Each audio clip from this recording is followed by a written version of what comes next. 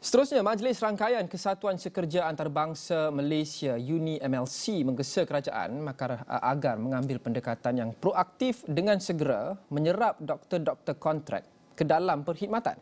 Presidennya Datuk Muhammad Syafiee BP Mamal berpendapat doktor-doktor kontrak juga merupakan aset yang berharga bagi sektor perubatan dan kesihatan negara. Menerusi satu kenyataan media, Muhammad Syafiee menegaskan pandemik COVID-19 telah membuktikan bahawa negara sebenarnya memerlukan pengalaman doktor-doktor kontrak untuk berkhidmat kepada rakyat dan negara dalam jangka panjang.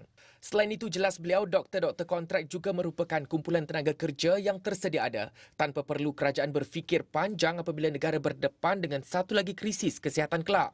Jelas beliau kumpulan doktor ini telah teruji ketika pandemik COVID-19 yang merupakan krisis kesihatan global dan sepatutnya kerajaan menyerap mereka ke dalam sistem perkhidmatan serta-merta. Muhammad Syafiee juga menjelaskan negara memerlukan sejumlah doktor yang ramai kerana penduduk Malaysia akan terus meningkat.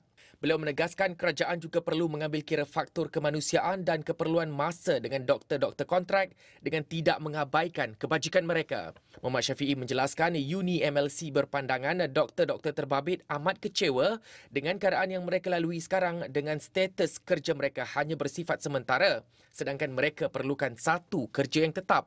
Justru beliau menegaskan kerajaan perlu memastikan setiap individu yang bekerja dilayan dengan baik dan sama rata kerana itu tugas dan tanggungjawab kerajaan.